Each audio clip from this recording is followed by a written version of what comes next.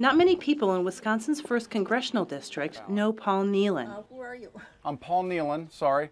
I'm running for Congress. The businessman is a long shot primary challenger to Republican House Speaker Paul Ryan.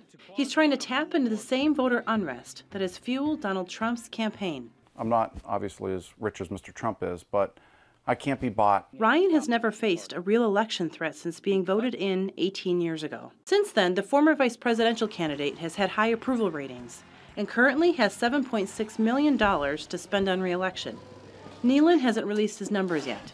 We already, in, in four weeks, have 4,000 donors. We've already raised more money than Dave Brat did going up against Eric Cantor.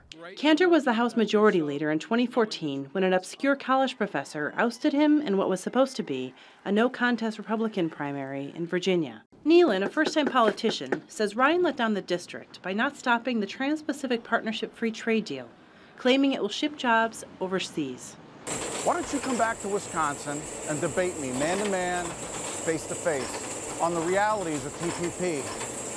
And if you don't want to debate me, maybe we can arm wrestle. While Ryan said he would agree to a debate, he wasn't too concerned about the race during a recent interview with the AP. I am born and raised in this town, in this district. People know me really well. I have done over 700 listening sessions, town hall meetings. People know me, they know I am a person of conviction. Yet Trump's rise means no one can take anything for granted. But certainly Ryan begins with a strong foundation of highly favorable views and very low negative views within his own party.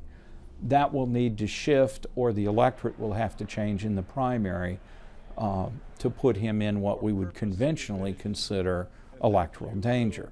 Of course, this year has not been a conventional year. When Ryan initially hesitated on endorsing Trump, former vice presidential candidate Sarah Palin went on the attack, supporting Nehlen to help defeat Ryan. Despite the internal GOP feud, a new Marquette University poll found Ryan is still viewed favorably by about half of registered voters polled.